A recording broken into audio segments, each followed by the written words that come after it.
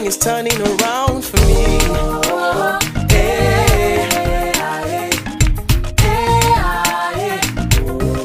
This is my testimony, my testimony.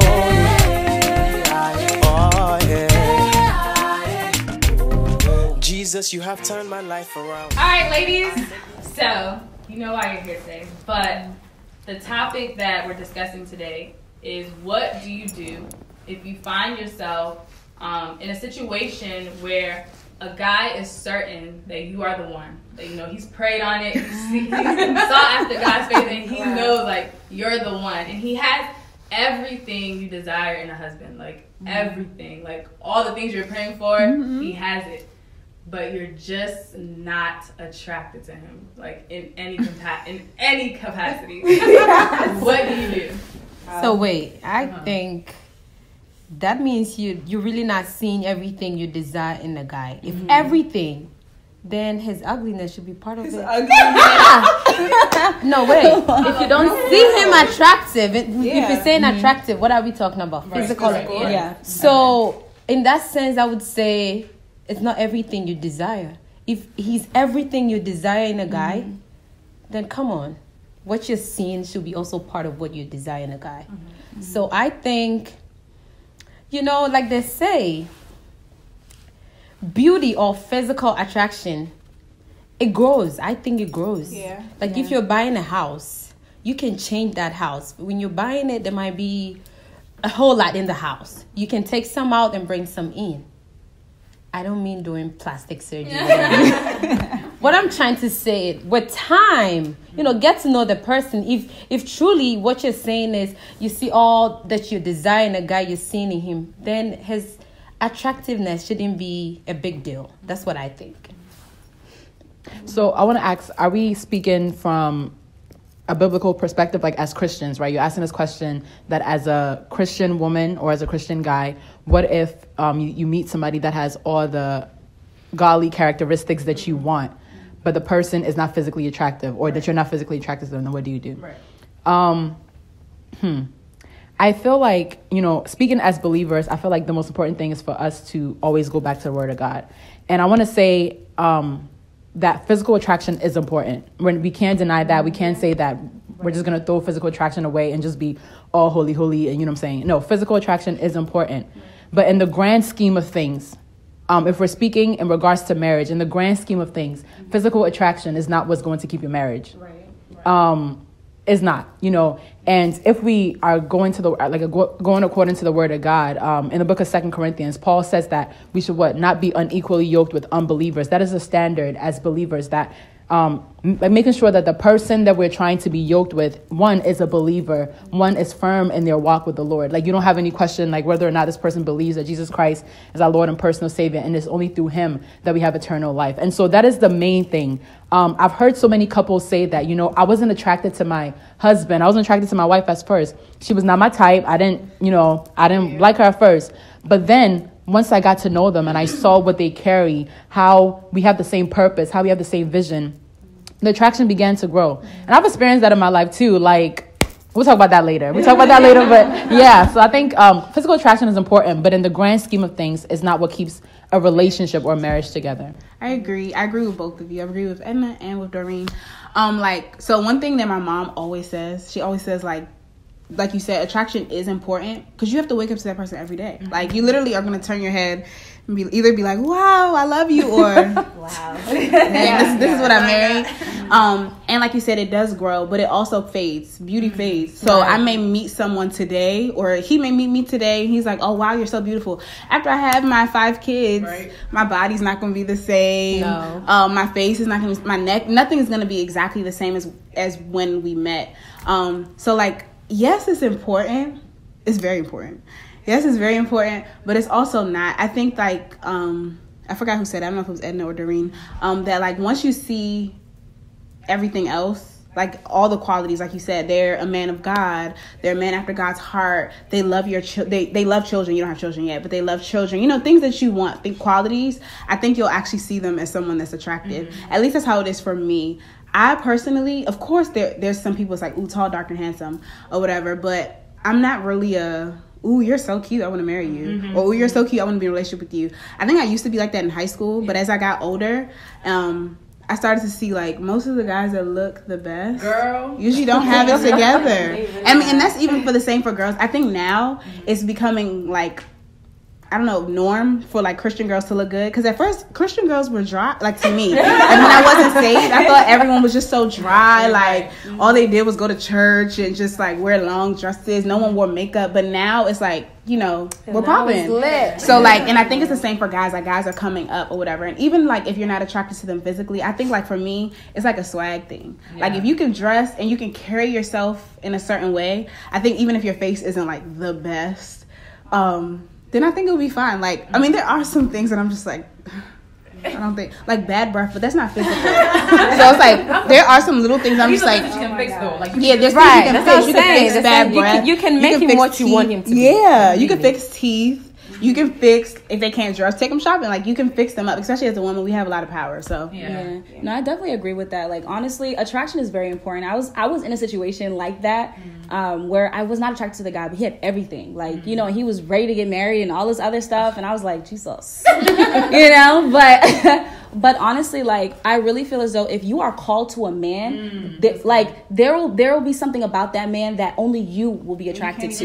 Like you cannot, you know what I'm saying? Like the, you will date someone and it's like, oh, you know, like he's just a regular kind of guy. But if this is who God has, you know, called you to be tethered to, like you know, like you're gonna see past the I can't dress or oh his face is not this or you know what I'm saying. And I really feel like, um, like you said, a marriage is not built on looks. You know, it's not built because you will get older and things will start to sag and things will start to wrinkle and all that stuff. But it's that um, it's that oneness that you guys have. You know, I really feel like it's the character of a man that makes him attractive. Yeah. Yes, his face is, is you know is important, his outer looks or whatever. Like I will not be outside with you know just, but I really feel like there has to be something though, like that makes you want to stay with that guy. Yeah. And definitely his walk with God, his character. Um, and the way he carries himself, I think I love like I love to see a man that's like dominant in like a godly way. You know, who knows who he is in Christ, who knows you know his what his intentions are for you. Yeah. You know, so it kind of just makes everything else kind of like fade away. It's like it's not really as important. Like you know,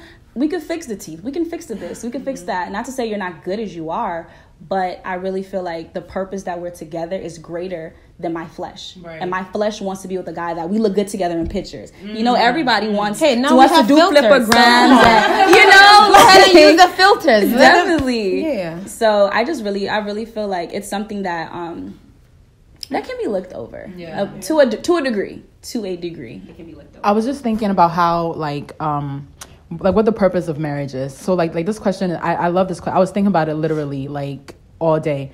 Um what the purpose of relationship is or what the purpose of marriage as believers, right? Once again, we're speaking from the point of Christians. And like one time like um one of my friends who was married, like he told me something and it was it blessed me so much. He was like Doreen, the purpose of marriage is not to make you happy, it's to make you godly. It's to make you to be like Christ. Christ is like being united like with the church or with the bride. And when he said that, it really stood out to me because, like you said, I was in a position as well where um, I had my list of things that I wanted. You know, I wrote down, I told the Lord, I said, God, this is what I wanted, right? And God literally brought a guy in my life that had all the godly qualities. He was humble, he was a leader, he was a servant, he was man, he was everything except for the fact that he like I wasn't physically attracted to him.